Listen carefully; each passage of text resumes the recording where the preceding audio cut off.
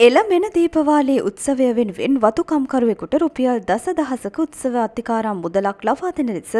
වතු හාම්පුතුන්ගේ සංගමයෙන් ඉල්ලීමක් කළ බව ලංකා කම්කරු කොංග්‍රසයේ සභාපති හා නුවරඑළිය දිස්ත්‍රික් පාර්ලිමේන්තු මන්ත්‍රී මුත්තු සිවලිංග මහතා පැවසුවා.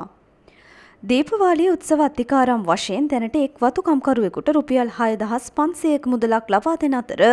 එම මුදල දැනට රටේ පවතින ජීවන වියතම අනුව ප්‍රමාණවත් නොවන නිසා එම මුදල් රුපියල් දස දහස දක්වා වැඩි කර ලබා දෙන ලෙස